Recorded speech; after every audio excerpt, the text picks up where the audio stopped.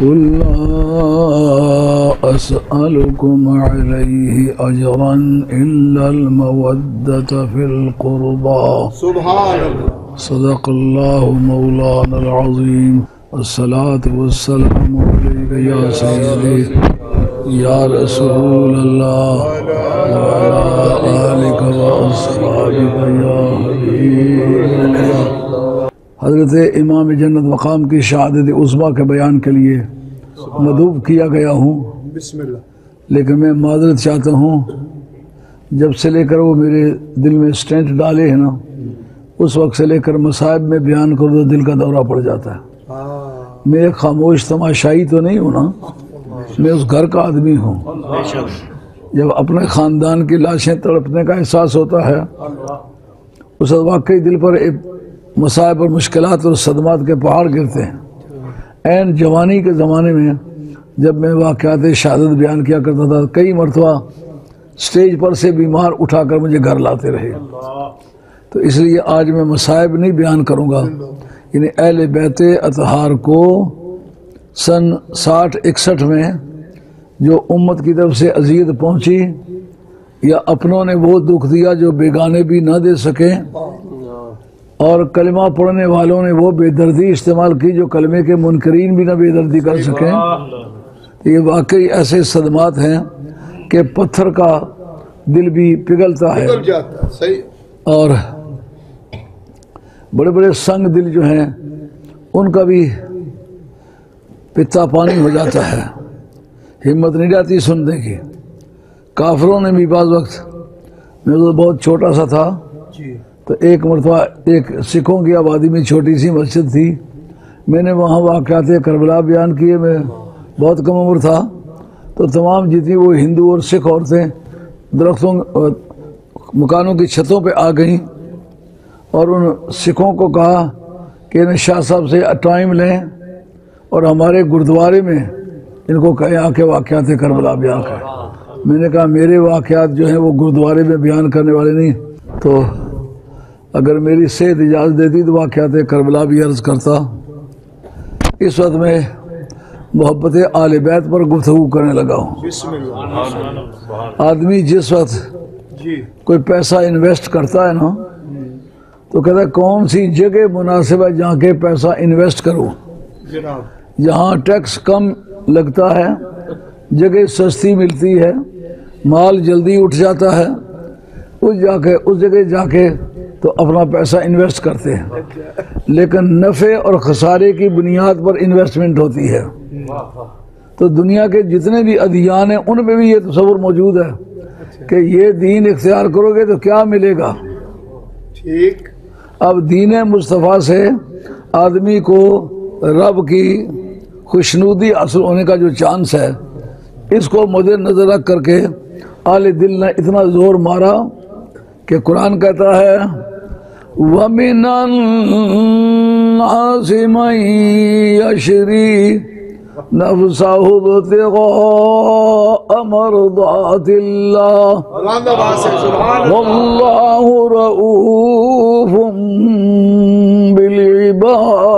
سبحان اللہ سبحان اللہ بعض بندگان وہ خدا، بندگان خدا وہ ہیں کہ جو اپنی جان کو بیچ ڈالتے ہیں۔ معاوضہ کیا لیتے ہیں؟ رب کا راضی نامہ کا منڈی لگی ہے۔ اس میں عام اعلان ہوا ہے، نیلامی کا۔ ان اللہ اشترى من المؤمنین انفسهم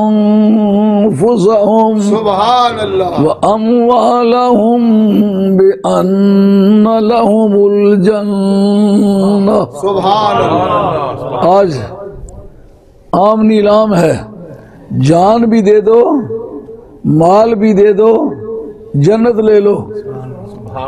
کا مومنوں کی ایک ٹیم وہاں جا پہنچی۔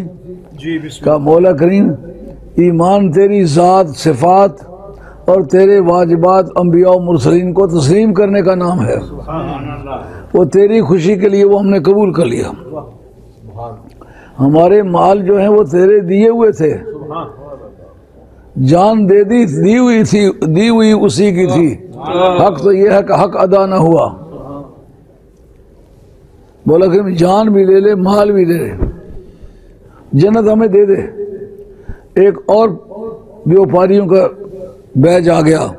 انہوں نے کہا مولا کریم جان بھی لے لے ہاں۔ مال بھی لے لے۔ جنت بھی رہ نہیں دے۔ کہا جنت کیوں رہنے دوں؟ کہا اس میں بھی بوئے نفس آتی ہے۔ خواہش کی بو آتی ہے کہ ہم نے یہ سب نیکیاں جتنی کی ہیں کی جنت کے لیے ہیں۔ نہیں مولا کریم ہم تو اس سے کوئی اجر نہیں مانگتے۔ صرف اتنی بات ہے۔ محبوبہ دارازی ناما لوڑن صدا بیچارے۔ اچھا۔ اس جگہ نبی کریم علیہ السلاۃ والسلام کی جو تعلیمات ہیں محبت آل بیت کے بارے میں۔ بسم اللہ۔ محبت ایک ایسے رجحان کا نام ہے جو قلب انسانی میں ہوتا ہے۔ اچھا۔ ایسا جھکاؤ ایسی ٹینڈنسی جو قلب انسانی میں ہوتی ہے۔ اگر باقی حیوانات میں بھی اگر پائی جائے تو بتوا پائی جاتی ہے بالاسالت اگر پائی جاتی ہے تو انسان میں پائی جاتی ہے۔ ٹھیک۔ درد دل کے واسطے پیدا کیا انسان کو۔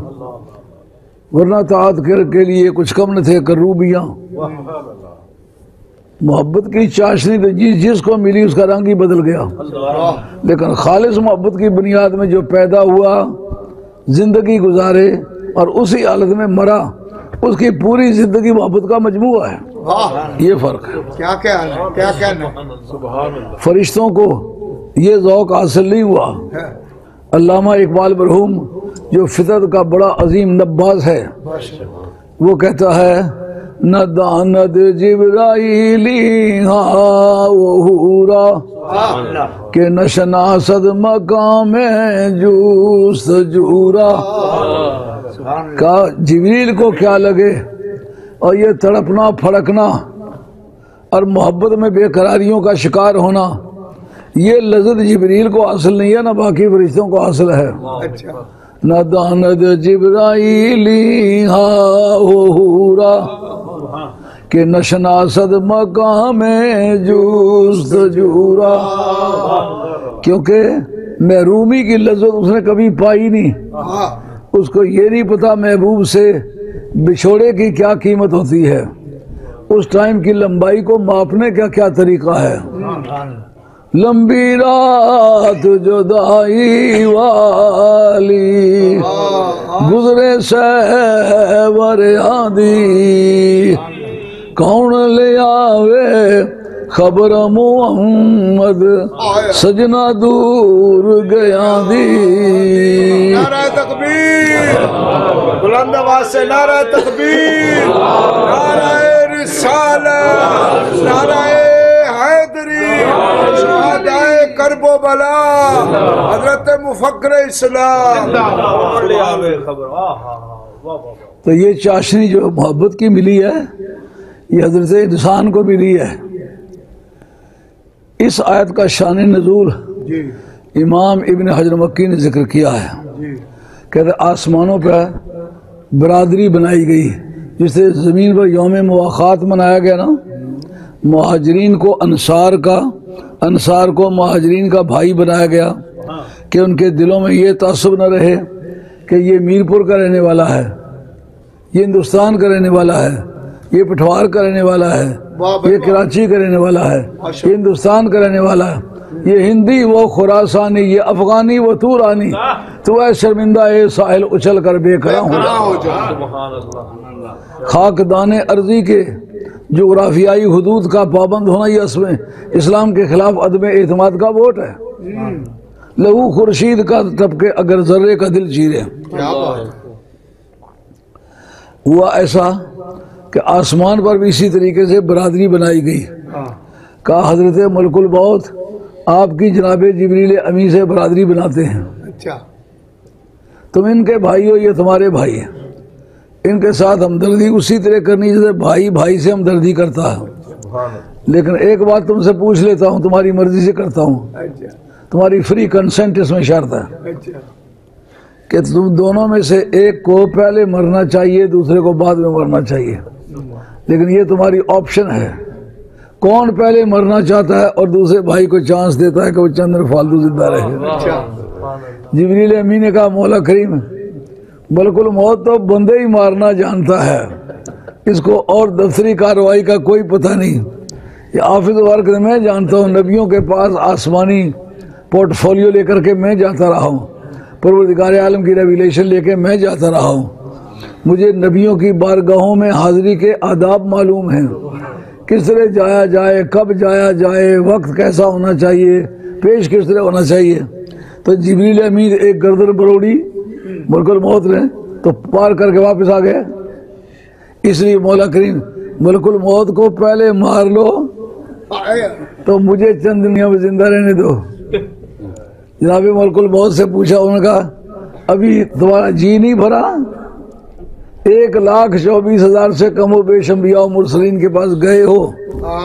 اور وہاں جا کے تم نے لطف اٹھایا ہے۔ نبیوں کی ملاقاتیں کی ہیں۔ تو میں تو جدھر جاتا رہا ہوں روتے چھوڑ کے آتا رہا ہوں۔ جو ہی پہنچتا رہا، بندہ مار دیتا رہا۔ ماں اپنے آپ کو مارتی، پیٹتی بہنیں روتی، چیختی، بال کھینچتی۔ اور دوست عزیز و اقارب روتے روتے رونے والوں کا جلوس ماتمی نکلا تھا۔ تو میں نے تو ساری زندگی کا اپنا استقبال اسی طرح دیکھا ہے کہ جدھر میں گیا ہوں تو لوگوں نے ماتمی جلوس نکالا ہے۔ اب جبریل امی کو پہلے مار لو۔ ان کی جگہ چند دن میں بھی لطف اندوز ہو جاؤں۔ مجھے بھی کچھ مزہ آ جائے۔ اب رب کریم نے کہا اے جبریل اور اے اسرائیل تم دونوں جاؤ۔ دیکھو مکے کی روانگی والی رات۔ جناب حیدر قرار کو چھوڑا اپنی چارپائی پر۔ جناب حیدر قرار کہتے ہیں آپ میری طرف سے بے فکر ہو جائیں۔ جو اللہ کی طرف سے آئے گے کاٹیں گے۔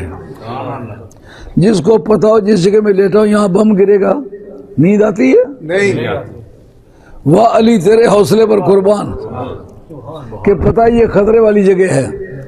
اس جگہ دشمن عملہ آور ہوگا۔ آپ وہاں لیٹ گئے۔ اور نبی کریم الصلوۃ والسلام وہاں سے تشریف لے گئے۔ اب رب کریم نے کہا تم تو کہتے ہو نا کہ پہلے جبریل کو مارو جبریل کہتا ہے پہلے ملک الموت کو مارو۔ اب دیکھو برادری اس بات کا نام ہے۔ سرکار نے فرمایا تھا یا علیو انت اخیف دنیا والآخرہ۔ کوئی اس رشتے کی مجھ سے امید نہ کرے کہ تیرے سوا کسی کے ساتھ بھی ہوگا۔ دنیا اور قیامت دونوں جانے میں میرا بھائی صرف تو ہے۔ ادھر یہ دعویٰ میں نے کیا تھا۔ تو اب علی تم میرے بستر پہ سو جاؤ۔ کہا وہ دعویٰ آپ نے کیا تھا اس کی دلیل میں پیش کرتا ہوں۔ آپ نے کہا تو میں آپ کا بھائی ہوں۔ اب اس دعوے پر پورا اتر کے کانٹے پہ تل کے تو میں واضح کرتا ہوں کہ واقعی بھائی اس کو کہتے ہیں۔ قرآن مجید نے کہا وَمِنَ النَّاسِ مَن يَشْرِي نَفْسَهُ ابْتِغَاءَ مَرْضَاتِ اللَّهِ جو دوسرا گروپ آیا نے کہا مولا کریم جان بھی لے لے مال بھی لے لے اور جنت بھی رہنے ہی دے۔ جنت و دوزخ کو یا رب کیا کروں؟ التجا ہے میں تجھے دیکھا کروں۔ ڈر دوزخ دا بدکارانو چاہ جنت نے کو کارانو جڑا قیدی نبی دیاں زلفاں دا او دوزخ جنت کی جانے جڑا قیدی نبی دیاں زلفاں دا او دوزخ جنت کی جانے آہ۔ میں واللیل پڑھنے لگا بے خودی میں۔ میں واللیل پڑھنے لگا بے خودی میں۔ تیری زلف کا ماجرا کہتے کہتے، تیری زلف کا ماجرا کہتے کہتے۔ حضرت سعید بن مولا، بخاری کے اندر ہے، آپ نماز پڑھتے سرکار دو عالم اللہ علیہ کا جہاں مسلح بچھا ہوا ہے، بہت قریب کے مسلح پر کھڑے ہو جاتے ہیں۔ دوستوں نے کہا، تم اتنی پابندی کرتے ہو، جتنی نماز کی پابندی کرنی چاہیے۔ ان کا کام بھی میں ایسا ہی کرنا جو نماز کی طرح ضروری ہے۔ پوچھا وہ کیا؟ کہا، جب نبی کریم علیہ السلاۃ والسلام سجدے میں جاتے ہیں، سرکار کی زلف امبری بکھر جاتی ہے۔ جو زلف امبر بکھر جائے گی نہ جانے کے در سے کدھر جائے گی نہ جانے کے در سے کدھر جائے گی۔ کہتے سرکار دو عالم صاحب نماز کی حالت میں اپنی زلفوں کو پکڑ کے اسے کانوں کے اوپر کرتے ہیں۔ میں سجدوں کا بھی لطف لیتا ہوں سرکار کی اداؤں کا بھی لطف لیتا ہوں اور سرکار دو عالم علیہ السلام السلام کی زلف پیش دار کے پیش و خم کا بھی ملاحظہ کرتا ہوں۔ میری نماز تو کئی گنا زیادہ بڑھ جاتی ہے، اس کی قیمت بڑھ جاتی ہے۔ سمجھ میں آئی ہے؟ در دوزخ دا بدکارانو، چا جنت دیکھو کارانو۔ جڑا قیدی نبی دیا زلفاں دا او دوزخ جنت کی جانے۔ آہ مولانا ضمیر الدین چاٹگامی رحمۃ اللہ علیہ جنہوں نے صرف کی ایک کتاب لکھے قانون محمد میری اس کے ابتدا میں آپ نے نعت رسول پاک لکھی ہے۔ اس میں لکھتے ہیں کہتے ہیں جناب نبی کریم رعوف الرحیم صلی اللہ تعالی علیہ وسلم بعد زینات شہ پیغمبر گویم بجاں۔ بعد زینات شہ پیغمبر گویم بجاں۔ تاجدار والدحا واللیل صدر لا مکان. شورش عشق ازل ہم زلف محبوبی بدوش. شد شکن پہرائے ہو صد شان ہم چوبا دعا. کہا ہیر کی زلف نے رانجے کا دل لوٹا۔ مئی وال کے کے دل کو سونی کی زلف نے لوٹا۔ اسی طریقے سے خنگ و ازرا یہ ایران میں گزرے ہیں۔ خنگ اس پر عاشق ہوا، اس کی زلف تابدار کے قصے پڑھتا ہے۔ لیکن خدا کی محبت کو لوٹنے والا اس کا نام مدینے کا تاجدار ہے۔ کا کہا شورش عشق ازل، ہم زلف محبوبی بدوش۔ کا جس دنیا میں جاؤ دنیا کے طلبگاروں کے نام مختلف بولتے ہیں جن کے لیے بے قرار ہیں ان کے نام بھی مختلف بولے جاتے ہیں۔ لیکن عرش الہی کے پرے جو عشق و محبت کی دنیا کے نرسل ہیں ان کے اندر جو سرسراٹ سنائی دیتی ہے وہ سرکار کی زلف تابدار کا نتیجہ ہے۔ اب اس جگہ بات یہ سمجھنے والی ہے کہ آل بیت رسول صلی اللہ علیہ وسلم نے اتنی بڑی قربانی کی کیوں ہے؟ جس کی جگہ نماز پڑھتے ہو کس لیے؟ تاکہ جنت ملے۔ روزہ رکھتے ہو کس لیے؟ تاکہ جنت ملے۔ حج کس لیے کرتے ہو؟ تاکہ جنت ملے۔ زکوٰۃ کس لیے دیتے ہو؟ تاکہ جنت ملے۔ حسین میں تم سے پوچھتا ہوں تم نے یہ سارے کام کیے بتا کس لیے کیے؟ کیا لینا ہے؟ کا جنت تو جس کو کہتے ہیں۔ ترمزی شریف کی حدیث ہے حضرت حضرت قرار خود اس کے راوی ہے۔ رویہ ان علی رضی اللہ تعالیٰ ان النبی صلی اللہ علیہ وسلم اخذ بید الحسن و بید الحسین فقال من احبنی و احب حازین و اباہما و امہما کان معی فی درجتی یوم القیامہ. کہا جس کا جس کو جنت کہتے ہیں وہ تو تیرے ہر غلام کو ملے گی۔ لیکن چاہنے والے غلام کو وہی کلاس ملے گی جو نبی کو ملے گی۔ جس کی محبت کی لفٹیں اتنی زوردار ہیں اور کسی عمل کا نتیجہ سرکار کے اندر جنت میں کلاس کا ملنا نہیں ہے جنت کا ملنا ہے۔ جنت ملے گی جنت میں عزت ملے گی جنت کی سہولتیں ملیں گی۔ لیکن جس کے ذریعے سے اس کلاس میں رکھا جائے گا جس کلاس میں سرکار موجود ہیں، وہ حسین کی محبت ہے، وہ حسن کی محبت ہے، وہ خاتون جنت کی محبت ہے۔ سرکار نے حسن کا بھی ہاتھ پکڑا، حسین کا بھی ہاتھ پکڑا۔ ہاتھ پکڑ کے فرماتے ہیں، جو مجھ سے پیار کرے، ان دونوں سے پیار کرے، ان کے ابا سے پیار کرے، ان کی اماں سے پیار کرے، وہ میرے ساتھ جنت میں ہوگا، فی درجہ تھی، میرے درجے میں۔ تو بتایا حسین، یہ جنت اور جنت کی جو کلاس، جو اسپیشل کلاس ہے بزنس کلاس، وہ تو تجھے پہلے سرکار کی گود میں کھیلنے کی وجہ سے مل چکی ہے۔ اور جو تیری غلامی کرے گا، اس کو بھی ملے گی۔ تو کیوں لڑتا ہے؟ کہا، میں دیکھتا ہوں کہ جس بات سے میری سرکار راضی ہوتے ہیں، وہ کام میں کر رہا ہوں۔ تاکہ دنیا دیکھے کہ کبھی انہوں نے مجھے کندھے پر اٹھایا تھا اور کبھی سر سجدے میں رکھ کے تو میرے اترنے کا انتظار کرتے بہتر تصویریں پڑھ ڈالی تھی آج میں بھی علی کا بیٹا ہوا تو بہتر تن قربان کر دوں گا، لیکن اس وقت تک پیچھے نہیں ہٹوں گا جب تک کہ سرکار کی خوشنودی مجھے حاصل نہ ہو جائے۔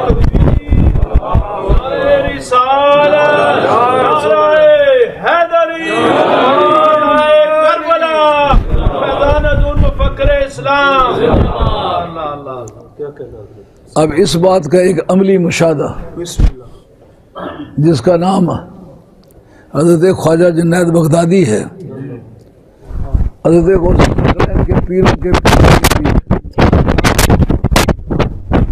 اور اکھاڑے میں ورزش کرنے والا دگل لڑنے والا اور پوری دنیا کے پہلوانوں کو گرانے والا۔ اس میں کتنی کتنے نفلوں کا ثواب ملتا؟ ہے کتنے اجوں کا ثواب ملتا؟ ہے یہ جو انہوں نے کشتی لڑی ہے یہ ان کے نام اعمال میں بدولت نفلی عبادت کے ہوگی؟ نہیں۔ نہیں ہوگی۔ یہ جو ساری محنت کی ہے خوراکیں کھائی ہیں ورزش کی ہے یہ جو پہلوانوں کو اگر کھاتے دیکھیں تو آپ بھینس کو بھول جائیں۔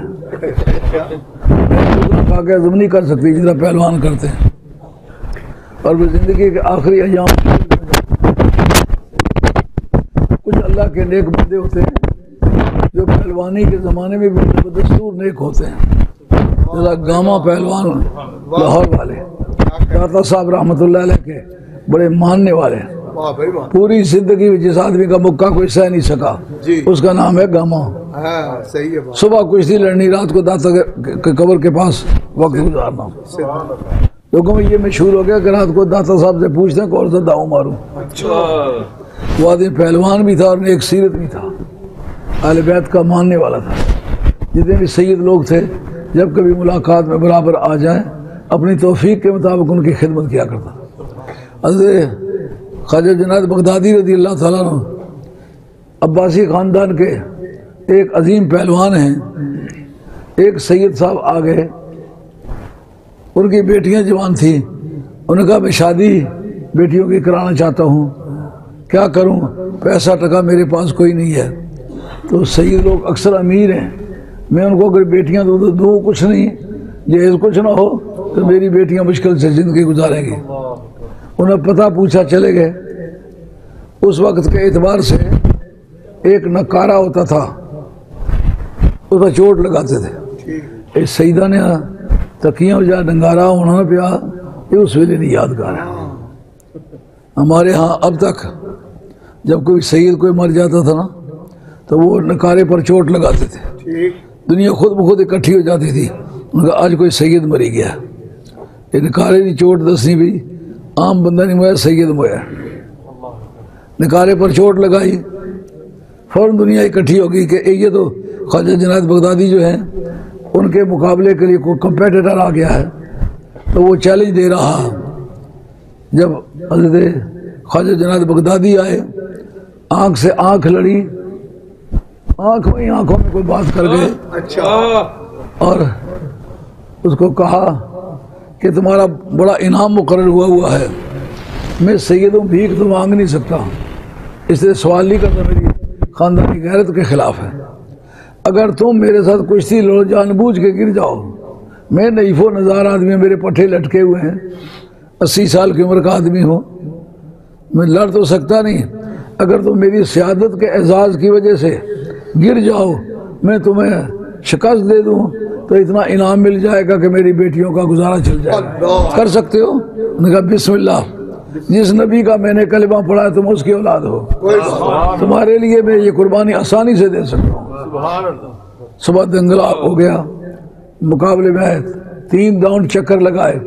آخر شاہ صاحب کو ہر آدمی دیکھ رہا کہ یہ سچ تو چلنے پھرنے سے عاجز ہے بدن بھر گوشت کا ایک نوالا نہیں ہے اور پٹھے سارے لٹکے ہوئے ہیں اور خون کے کوئی آثار نہیں ہیں۔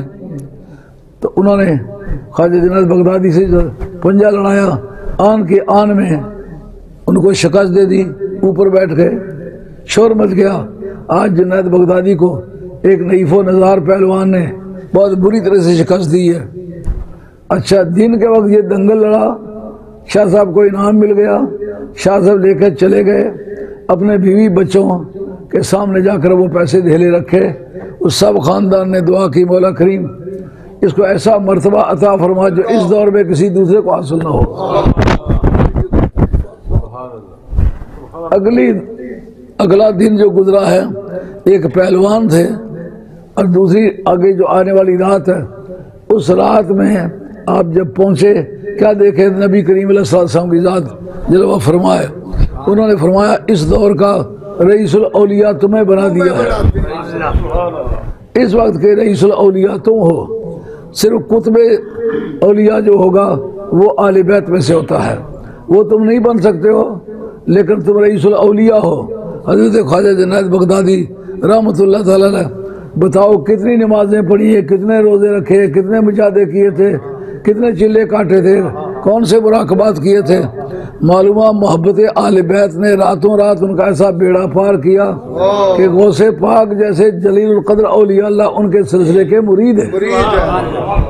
سمجھ میں آئیے بات کری یہ کہانی تو نہیں ہے۔ غوث پاک جس کو کہے وہ میرے سلسلے کا پیر ہے۔ اس کو پیر سمجھنے میں تو کوئی دقت باقی نہ رہی۔ بہت اچھا۔ تو یہ محبت آل بیت کا چیپٹر ہے۔ اس کے سوا ہماری کتابوں نے بے شمار واقعات لکھے ہیں۔ یہ جو آیت میں نے پیش کی ہے کہ کل لا اسلکم علیہ اجرن، فرما دیجو کہ میں اس پر تم سے کوئی اجر نہیں مانگتا۔ یعنی جو میں نے تبلیغ کی ہے تمہیں خدا کی آشنائی مہیا کی ہے، خدا کی معرفت عطا کی ہے۔ اللہ تعالیٰ کی صفات ایجابیہ، صفات سلبیہ اور صفات افعالیہ اور صفات صفات اسمائیہ بیان کی ہیں۔ تمہیں حلال اور حرام کا فرق بتایا ہے، بہو بیٹی کا فرق بتایا ہے۔ زوال رزق کے آثار بتائے ہیں اور کثرت رزق کے حاصل کرنے کے لیے طریقہ کار بتائے ہیں۔ ماں کو ماں ہونے کا درجہ دیا ہے، باپ کو باپ ہونے کا درجہ دیا ہے، بیٹی کو بیٹی ہونے کا درجہ دیا ہے۔ پڑوسی کو پڑوسی کی سہولتیں مہیا کی ہیں۔ ایک پرائمری کے ٹیچر کو کہو، میرے بچے کو یہ بات سکھا دو۔ وہ پہلے آپ سے طے کرے کہ کتنی ٹیوشن کتنی دو گے؟ بہت اچھے۔ کہا میں نے ایک دو کو نہیں پڑھایا کل کائنات کو پڑھایا۔ ہے ہے سبحان لیکن اس کا اجر تم میں سے کچھ نہیں مانگتا۔ میں صرف تم سے محبت آل بیت مانگتا ہوں۔ سبحان سبحان اپنے اقربا کی محبت مانگتا۔ اپنے اقربا کی ترجمہ کس کا ہے؟ اچھا۔ الا المحدد فی القربا۔ القربا کیبل میں لام تعریف کا نظر آ رہا ہے کہ نہیں آ رہا جی جی الف لام تعریف کے جتنے اقسام ہیں، ان میں سے ایک قسم الف لام تعویز بھی ہے۔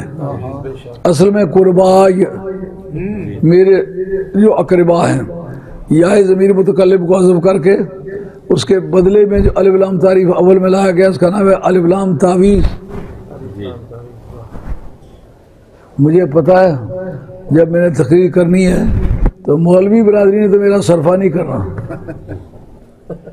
مولوی مولویوں کو لحاظ کر جاتے ہیں۔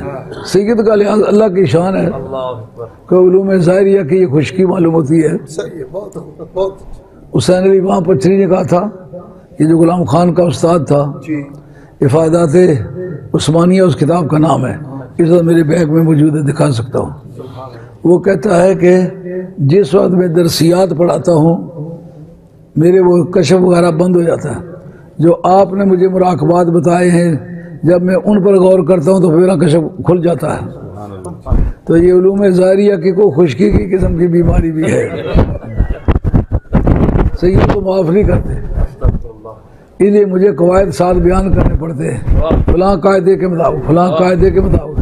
جب مجھ سے بات کرے تو ڈر کر وہ جا لگے تو سمجھ آ جائے کہ بات جو ہے ویسے چلتے چلتے بات نہیں کی۔ القربا کا ترجمہ میرے اقربا جو اس حالت میں اس کا ترجمہ میرے اقربا ہوگا جب علام تعویذ کا تسلیم ہو۔ میں تمہیں کچھ نہیں مانگتا ہوں کہ میرے اقربا کی محبت مانگتا ہوں۔ اس جگہ ایک بحث ہے۔ اگر ایک لفظ عربی زبان میں کثیر الاستعمال ہے جناب بہت استعمال ہوتا ہے۔ ایک لفظ ہے جو اس کا ہم معنی ہے، مترادف ہے ایکویولنٹ ہے، لیکن استعمال کم ہوتا ہے۔ تو قلیل الاستعمال کو استعمال کرنا یہ بلاغت کے قواعد کے خلاف ہے۔ سمجھو یعنی جو کثرت سے بولا جاتا ہے آسانی سے سمجھ میں آتا ہے نا۔ تو گفتگو کا ایک مقصد آسانی سے سمجھ آنا بھی ہے۔ تو جب لفظ محبت کثیر الاستعمال ہے عربی ادب میں بھی قرآن میں بھی جی۔ تو پھر المعدت کیوں استعمال کیا ہے؟ قاعدہ سمجھ آیا؟ بلاغت کہتی ہے جس کو ایلوکوینس انگریزی میں کہتے ہیں ایلوکوینس اس کا موضوع کیا؟ حال مخاطب کو دیکھ کے اس کے حال کے مطابق کلام وارد کرنا یہ اس کا موضوع ہے۔ تو اب اس جگہ جو فرمایا سوائے اپنے بیت کی محبت کے کچھ نہیں مانگتا اس پر نقص یہ وارد ہوتا ہے کہ المحبت کیوں نہیں استعمال کیا؟ المدت کیوں استعمال کیا؟ جبکہ المدت قلیل الاستعمال ہے محبت کثیر الاستعمال ہے۔ محبت کا لفظ سمجھنے میں دقت کوئی نہیں۔ اور تھوڑا پڑا ہوا بھی جان رہا ہے اور زیادہ پڑا ہوا بھی جانتا ہے۔ مدت کا لفظ کیوں استعمال کیا؟ کا معمولی سا معنی میں ڈیفرنس ہے فرق ہے۔ وہ کیا؟ کا محبت اس میلان کا نام ہے۔ جو کسی کی خوبیوں کی طرف مائل ہوتی ہے۔ اس میلان کا نام محبت ہے۔ کسی کو عالم بہت اچھا ہے۔ عمل کے لحاظ سے بہت اچھا آدمی ہے۔ عبادت کے لحاظ سے بہت اچھا ہے۔ گفتگو کے اعتبار سے بڑا پرہیزگار ہے۔ حلال حرام کا فرق کرتا ہے۔ چھوٹوں پر شفقت کرتا ہے۔ بڑوں کی عزت کرتا ہے۔ اس کی خوبیوں کو دیکھ کے آپ کے دل میں ایک جو رجحان پیدا ہوئی ٹینڈنسی پیدا ہوئی ہے، اس کا نام محبت ہے۔ محبت ہے محبت کس کو کہتے ہیں؟ کہ جس سے محبت کا تعلق بنا ہے، خوبی اس کے اندر کوئی نہیں ہے۔ وہ نمازی نہیں ہے، وہ آجی نہیں ہے، وہ زکوٰۃ نہیں دیتا۔ اس کے اندر اسلامی خوبیاں نہیں ہیں، مگر خون رسول والی خوبی اس میں پائی جاتی ہے۔ تو بلا لحاظ کسی خوبی کے بلا لحاظ کسی نیکی کے اعداد و شمار کے صرف اولاد رسول سمجھ کے جو تم اس سے پیار کرتے ہو، اس کا نام محبت ہے۔ لیکن اس جگہ بڑی مشہور بات حضرت علامہ بدر الدین عینی رحمۃ اللہ علیہ اتفاق سے رات ہی کے وقت میں یہ ایک بحث تھی، جو ایک بالواسطہ اس راستے سے جا نکلی۔ تو عمدۃ القاری شرف خاری بدر ہے کہ حضرت نبی کریم علیہ الصلوۃ والسلام سے سوال کرنے والے حضرت عبداللہ ابن عباس ہیں۔ بعض لوگوں نے اس حدیث کو ضعیف کہنے کی کوشش کی مگر یاد رکھیں۔ جتنے علماء کرام بولنے والے حضرات ہو آپ کو یہ مشکل کسی سٹیج پر بھی پیش آ سکتی ہے۔ یہ حدیث ضعیف ہے، مگر حدیث ضعیف فضائل اعمال میں ہو یا فضائل رجال میں ہو بالاجماع مقبول ہے۔ شخص کی فضیلت بیان کرنے کے سلسلے میں ہو یا کسی عمل کی فضیلت بیان کرنے میں ہو تو وہ کمزور ہو کر کے بھی بہت بر ہوگی۔ اس کی ایک مثال پیش کرتا ہوں۔ جی بسم اللہ۔ امام جلال الدین سیوتی لکھتے ہیں کہ جب اذان شروع ہوئی تو اذان میں اشد اللہ الہ الا اللہ اشد اللہ الہ الا اللہ یہ تھا۔ اشد اللہ محمد رسول اللہ نہیں تھا۔ آپ نے حضرت بلال حبشی سے لٹا ڈال لیا۔ ان کا جس کے ذریعے سے ہمیں اذان کا پتہ چلا، اس کا نام کیوں نہیں لیتے ہو؟ مجتہد اگر کتاب اللہ اور سنت رسول اللہ کی تعلیمات پر پورا عبور رکھتا ہے، تو دور رسالت میں بھی وہ اجتہاد کر سکتا ہے۔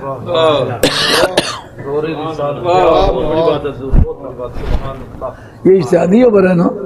اشتہادی ہے۔ کہ خدا کا نام لیتے ہو اس کے بعد اولا شریک ہونے کا ذکر کرتے ہو تو جس کی وجہ سے اس کا پتہ چلا اس کا نام کیوں نہیں لیتے ہو؟ ان کا کیسے لیں؟ ان کا یوں کہا کرو اشد ان محمد رسول اللہ۔ امام جلال الدین سیوطی کہتے ہیں کہ یہ بات جب کہی تو اس میں چند چیزوں کی انکشاف ہوا۔ ایک یہ کہ امام جلال الدین صحیح سنی آدمی ہے۔ اس لیے انہوں نے چاہا کہ جس جگہ خدا کا نام ہو وہاں مصطفیٰ کا نام تو ضرور ہونا چاہیے۔ اللہ کے نام کو رسول کے نام سے جدا کر کے رکھنا یہ بدعقیدہ لوگوں کی عادت ہے۔ اشد اللہ الہ الا اللہ اقامت میں بھی کہا اذان میں بھی کہا کلمہ شہادت پڑھا نکاح پڑھنے لگے۔ نکاح دوئے آپا ہی پڑھ لگے تو انہوں نے سرکار نے ادا کیسا ہوتا ذکر کیتا نے۔ انہوں نے کہا چلیو، جس حلال کیجیے وہ تو یہ ہے۔ جو کہتے ہیں، قبول کریے سات حکم شریعت کے۔ لوگ میرے منہ کی طرف دیکھنے لگے، یہ سات حکم شریعت کے کیوں کہتے ہو؟ کہا ایک لڑکی جو اس وقت تک اس کے لیے حرام تھی، ایک لڑکا جو اس لڑکی کے لیے اب تک حرام تھا۔ آنن فآنن حلال کس نے کر دیا؟ کہا وہ بہت بڑے اختیارات کا مالک ہے۔ نال حکم شریعت دے۔ اس ذات پاک کے قانون کے مطابق جو کائنات کے سب سے سپریم پاور ہے، ان کے قانون نے کہا، اس لیے اس کو جمع کر لیا۔ لیکن بات کو سمجھ آئی ہے۔ اب پتہ چلا کہ نعرہ تکبیر کے ساتھ نعرہ رسالت کی اٹیچمنٹ کیا ہے؟ کہ حضرت عمر فاروق رضی اللہ تعالیٰ عنہ کی تعلیمات نے یہ ثابت کیا کہ اللہ کا نام آیا ہوا ہے رسول اللہ کا نام کیوں نہ آئے؟ اس پر ایک بڑا خوبصورت نقش وار دیتا ہے۔ وہ یہ کہتے ہیں کہ جو تم جانور ذبح کرنے لگتے ہو بسم اللہ الرحمن الرحیم کہتے ہو یہ جو تمہارا قاعدہ جہاں اللہ کا نام آئے، وہاں رسول اللہ کا نام ضرور آنا چاہیے۔ تو تکبیر کے وقت تم نے اللہ کا نام تو لیا، رسول اللہ کا نام نہیں لیا۔ ہم اس کے جواب میں کہیں گے، بتا، یہ جتنا بسم اللہ الرحمن الرحیم پڑھتے ہو، پانی دودھ میں ملاتے وقت بسم اللہ الرحمن الرحیم، جھوٹی شہادتیں دیتے وقت بسم اللہ الرحمن الرحیم، کم تولتے وقت بسم اللہ الرحمن الرحیم، ہر برائی اور بدی کرتے وقت کہتے بسم اللہ الرحمن اس جگہ ذبح کرنے کے وقت بسم اللہ الرحمن الرحیم کیوں نہیں پڑھا؟ اس کا سبب یہ ہے کہ موقع محل اس کا نہیں ہے کیونکہ موقع قیر اور غضب کا ہے۔ ایک کی گردن کاٹی جا رہی ہے اور منہ سے کہے اللہ بڑا ہی مہربان ہے۔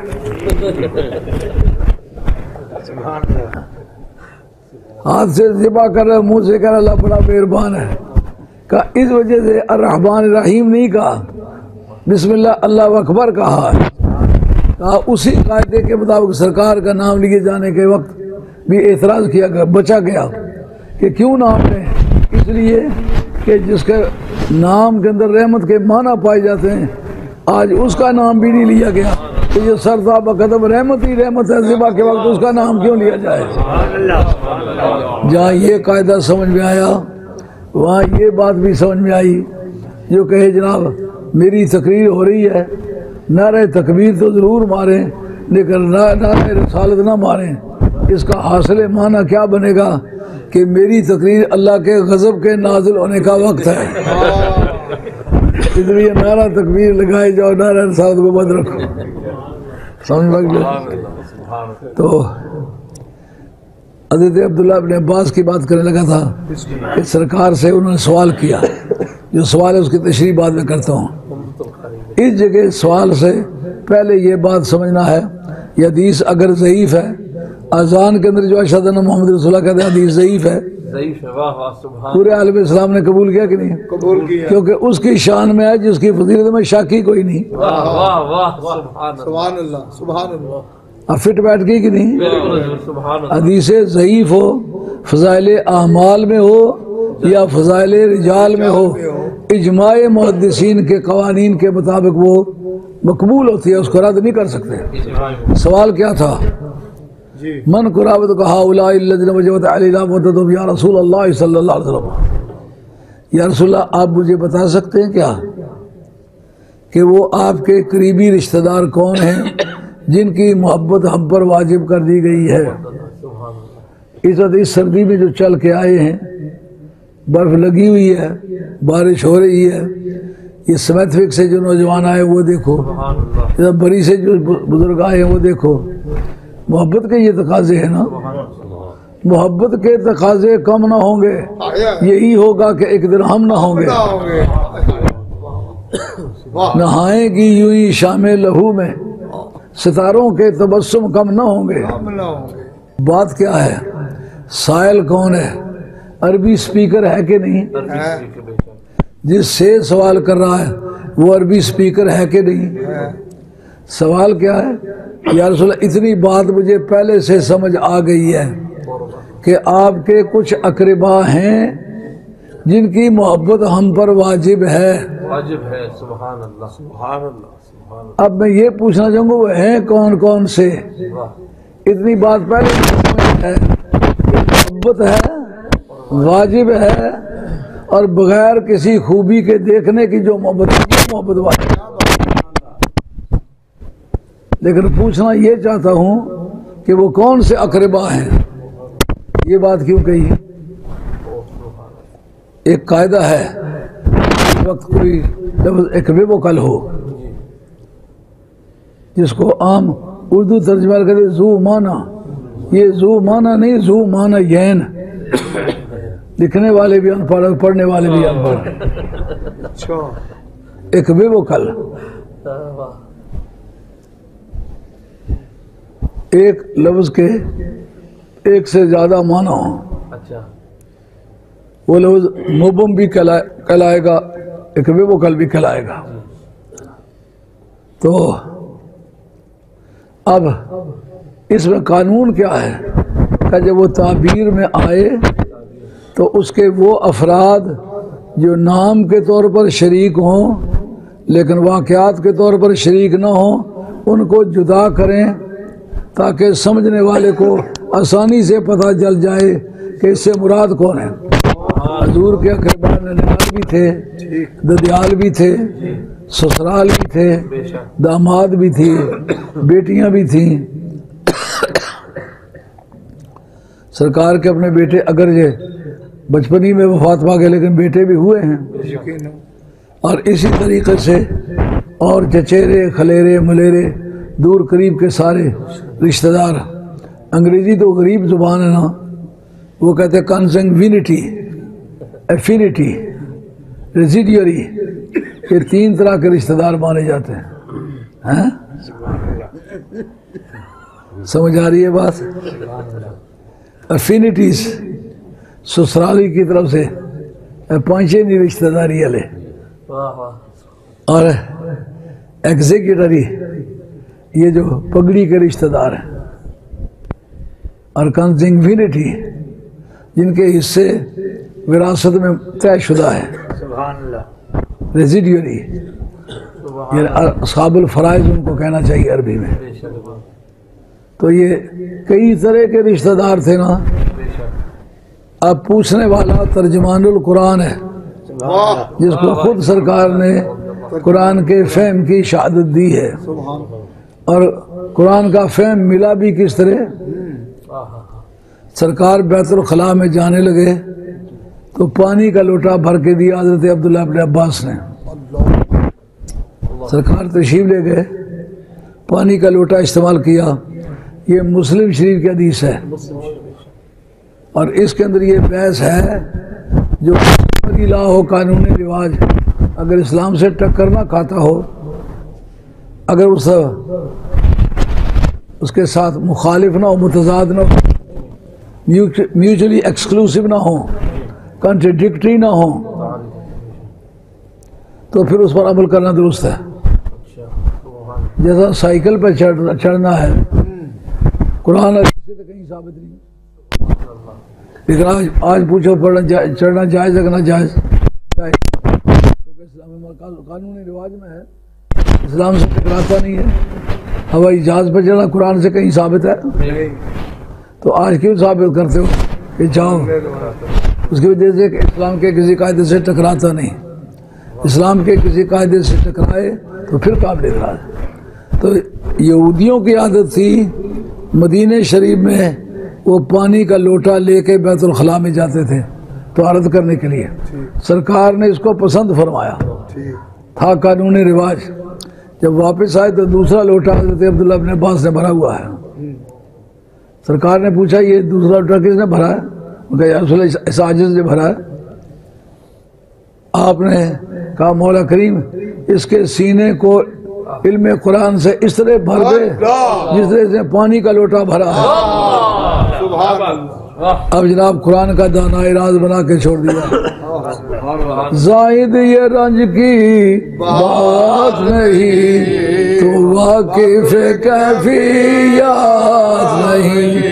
یہ بات ہے ہاتھ میں خواجہ کے ناقابل کو قابل کر دے۔ وہ پوچھتے ہیں اب جس کو سرکار نے یہ شان بخشی ہے کہ ترجمان القرآن خود بنایا ہے وہ پوچھتا آپ کہ وہ اقربا کون سے یہ کیوں سوال کیا کہ یہ مترادفات میں سے ایکویولنٹ ہے؟ اچھا۔ یہ کلیات ایکویوکل جن جنر سے ہیں۔ یعنی کلی متوا کلی مشکک کلی مشکک ہے۔ کون سا مراد ہے؟ کوئی طے نہیں کیا۔ کون سے اقربا مراد ہے ننیال، ددیال، سسرال، بیٹیوں کی اولاد بیٹے تو فوتی ہو گئے۔ اور آپ کے دامادوں کی اولاد۔ کہا، تمہیں بتاتا ہوں، بیٹی میری فاطمہ بھی ہے، بیٹی میری زینب بھی ہے، بیٹی میری کلثوم بھی ہے، بیٹی میری رقیہ بھی ہے۔ اور سب کے گھر میں ایک اولاد ہوئی ہے۔ لیکن سب کی موجودگی میں یہ بتاتا ہوں، یہ اسپیشلٹی حسن کی ہے۔ یہ حسین کی ہے، یہ خاتون جنت کی ہے۔ میری اولاد کہلانے کا حق میری اولاد کی اولاد کو، صرف اسی خاتون جنت کی اولاد کو میری اولاد کہلانے کا حقدار ہے۔ ایک حسن ہے، ایک حسین ہے، ایک علی ہے، ایک فاطمہ ہے۔ طے ہو گیا کہ نہیں ہو گیا؟ بے دم یہی تو پانچ ہے مقصود کائنات۔ بے دم یہی تو پانچ ہے مقصود کائنات۔ حسن و حسین و فاطمہ و مرتضی علی۔ تو باقی جتنی بھی سنتیں سرکار کی اتنی سخت سنتیں نہیں ہیں جتنی محبت علی بیت کی سنت سخت ہے۔ مسواک کرنا بھی سنت ہی ہے۔ صحیح ہے۔ حلوہ کھانا بھی سنت ہی ہے۔ پانچے اوپر رکھنا بھی سنت ہی ہے۔ لیکن حسن و حسین ایسے ہیں کہ اگر ان کی محبت میں کوتاہی کرتا ہے تو باقی فریب سمجھا جاتا ہے باقی کوئی محبت سچی تسلیم نہیں ہوتی۔ حضور نے فرمایا، کتنی بھی نیکیاں کرے لا یحب اہل بیتی الا المؤمن ولا یبغضهم الا منافقون۔ میری اہل بیت سے کوئی پیار نہیں کرے گا جس کے سینے میں ایمان نہیں ہے۔ میری اہل بیت سے بغض کوئی نہیں رکھے گا جس کے سینے میں منافقت ہے۔ منافقت کے سوا بغض اہل بیت کا سینے میں سمانا ممکن نہیں ہے۔ اعلیٰ حضرت فاضل بریلوی رحمۃ اللہ نے کیا خوب ارشاد فرمایا ہے۔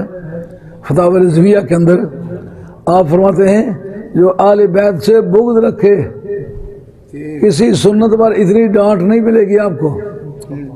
واہ۔ مسواک نہیں کیا تو تمہیں عذاب ہوگا ایسا نہیں ہے۔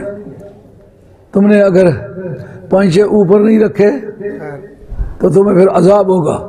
یاد رکھیے پانچے اوپر رکھنے کی حدیث جو ہے اس کو بھی سمجھ لو ایک آج۔ جی بسم اللہ۔ جو چیز ممنوع غیر ہی ہو جائز لذات ہی ہوتی ہے۔ یہ اصولیوں کا قاعدہ ہے۔ مثلا، آدمی سالی سے نکاح نہیں کر سکتا۔ کیوں نہیں کر سکتا؟ کہ اس کی سکی بہن اس کے نکاح میں ہے۔ اس بہن کی موجودگی میں نہیں کر سکتا۔ اس کا مطلب یہ ہے ویسے نکاح منع نہیں ہے۔ اس کی بہن کا اس کے نکاح میں پہلے موجود ہونا یہ امر مانے ہے۔ اللہ اللہ سمجھو اللہ مثلا ایک امیر آدمی کو زکوٰۃ نہیں لگ سکتی اس کی وجہ یہ ہے کہ اس کے پاس دولت موجود ہے۔ اگر وہی آدمی ہے اس کے پاس دولت موجود نہ ہو تو اسی پر زکوٰۃ لگ سکتی ہے۔ آگے بات خیال میں؟ اس کو کہتے ہیں ممنوع لغیر ہی۔ یہ بخاری کے اندر حدیث ہے۔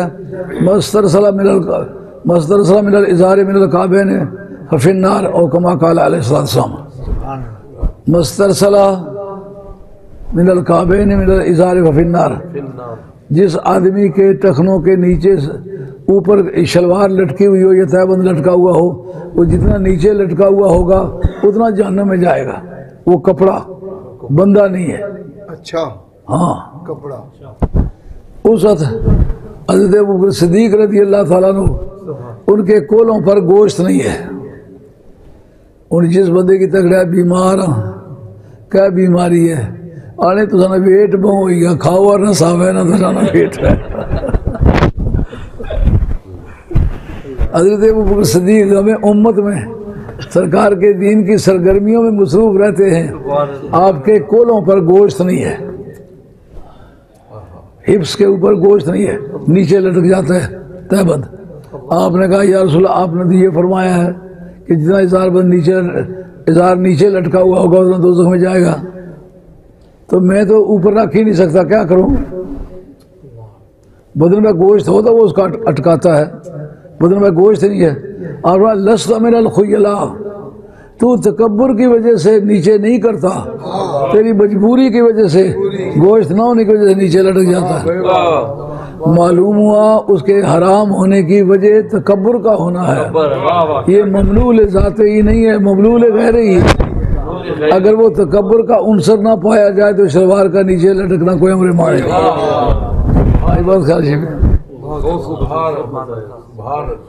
یہ بات واضح ہو گئی ہے؟ جی جی۔ اچھا۔ اب حضرت نبی کریم علیہ السلام السلام کا یہ فیصلہ فرمانا کہ میری رقیہ کی بھی اولاد ہے۔ ام کلثوم کی بھی ہے، زینب کی بھی ہے۔ چنانکہ آپ کی جو صاحبزادی زینب ہے، ان کی شادی ربی بن العاص سے ہوئی ہوئی ہے۔ اس سے جو لڑکی پیدا ہوئی تھی، بعد میں جناب ادر قرار نے اس سے شادی کی تھی۔ بے شک وہ میری نواسی ہے، لیکن ان کی محبت واجب نہیں ہے۔ یہ میری مرضی ہے۔ اس کی محبت واجب کر دوں، اس کی جو محبت واجب ہے، نہ کروں تو میں اپنا قیاس سے تم نہیں چلا سکتے ہو۔ اس وجہ سے ترجمہ پوچھنے کی ضرورت پیش آئی۔ یا رسول اللہ بتائیے آپ کے وہ اقربا کون سے ہیں جن کی محبت واجب ہے؟ سوال کی وجہ بھی سمجھ میں آئی ہے؟ یہ بات پہلے لکھی حضرت امام نصفی نے۔ اچھا۔ امام نسوی کا سن وفات ہے سات سو دس۔ ان کو کہتے ہیں مفتی جن و بشر۔ جنوں کا بھی مفتی ہے انسانوں کا بھی مفتی ہے۔ ان سے جن بھی پڑھتے رہے انسان بھی پڑھتے رہے۔ پھر ان کے جنات بھی لے کے استعمال کرتے رہے اور انسان بھی استعمال کرتے رہے۔ بڑے پائے کے صاحب کنز۔ یہ صاحب کنز کی کتاب ہے جس کا نام ہے کنز الدقائق۔ انہی کی کتاب کا نام ہے منار جس کی شرح ملا جی نے بیٹی نے لکھی ہے نور الانوار اور انہی کی کتاب ہے اصول کی کتابوں میں بڑی مشہور خود منار لکھی ہے اس کی شرح بھی لکھی ہے۔ اور اسی کی شرح علامہ شامی نے بھی لکھی ہے۔ یہ ساری کتابیں الحمدللہ میرے پاس موجود ہیں اور سب پر غور بھی کیا ہے۔ میرا خیال ہے اب آپ اجازت اگر دیں تو اب تقریب بند کریں کیونکہ ہمارے دوست جو ہے یہ سردی سے فریز ہو رہے ہیں۔ میں اوپر یہ کمبل سب ہے میرے تو مجھے سردی لگ رہی ہے۔ تو آپ کو تو یقیناً سردی لگ رہی ہوگی۔